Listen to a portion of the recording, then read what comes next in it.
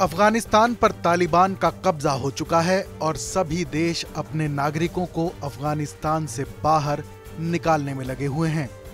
कुछ देशों ने तो अपना रेस्क्यू ऑपरेशन पूरा भी कर लिया है, लेकिन भारत के लिए ये रेस्क्यू ऑपरेशन बिल्कुल आसान नहीं था, क्योंकि अफ़गानिस्तान में हर तरफ़ तालिबान के लड़ाके हथियारों के साथ सड़कों पर घूम रहे थे। इसके अलावा तालिबान ने अफ़गानिस्तान की सुरक्षा की ज़िम्मेदारी खतरनाक हक्कानी नेटवर्क को दे रखी थी।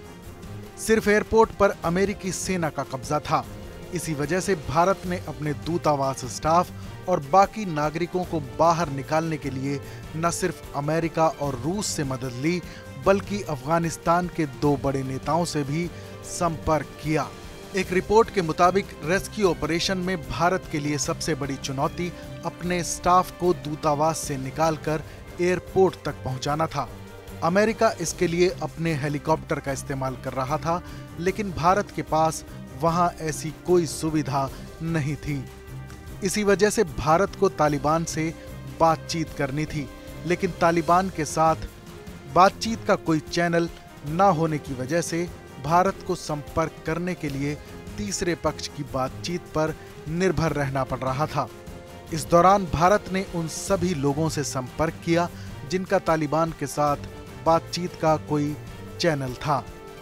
सबसे पहले भारत ने अपने दो पुराने दोस्त और अफगानी नेता हामिद करजई और अब्दुल्ला अब्दुल्ला से मदद मांगी थी और इन दोनों नेताओं ने भारत के लिए तालिबान से बातचीत भी की।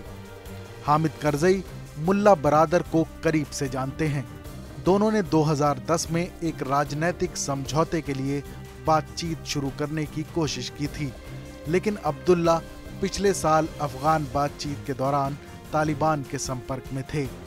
उस वक्त उन्हें राष्ट्रीय सुलह के लिए उच्च परिषद का प्रमुख नियुक्त किया गया था।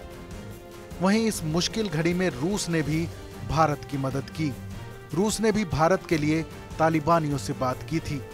अफ़गानिस्तान में मास्को के विशेष दूत जमीर काबुलोव ने कहा था कि रूस ने सात सालों से तालिबान के साथ संपर्क बनाए हुए हैं। इन्हीं संपर्कों की वजह से नई दिल्ली ने मॉस्को से मदद मांगी है। हालाँकि रूस तालिबान को एक आतंकी संगठन मानता है, लेकिन उसने अभी तक काबुल में अपने दूतावास को बंद नहीं किया है। इसके अलावा इस मिशन को कामयाब बनाने के लिए विदेश मंत्री एस जयशंकर ने अमेरिकी विदेश मंत्री एंटनी ब्लिंकन से बात की थी। इसके बाद दोनों पक्षों के अधिकारियों ने दूतावास से भारतीय अधिकारियों को बाहर निकालने का पूरा प्लान तैयार किया, जिसके बाद मिशन की निगरानी राष्ट्रीय सुरक्षा सलाहकार अजीत डोभाल और विदेश सचिव हर्षवर्धन श्रृंगला ने की और जमीनी स्तर पर इस मिशन को विदेश मंत्रालय के संयुक्त सचिव जेपी सिंह, अमेरिका में भारत के राजदूत अतुल कशेप और कैबिनेट सचिव ने कामयाब किया। इस खबर पर अपनी राय ज़रूर बताएँ। देश और दुनिया की तमाम बड़ी खबरों के लिए देखते रहें टीवी नाइन डिजिटल।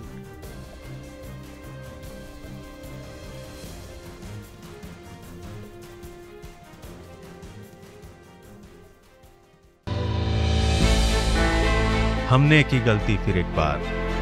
कोरोना ने किया दोबारा प्रहार। मास्क, दो गज दूरी। करें अपनी सुरक्षा पूरी कोरोना टीका हम सबको लगाना है। मिलकर साथ समझदारी से कोरोना को हराना।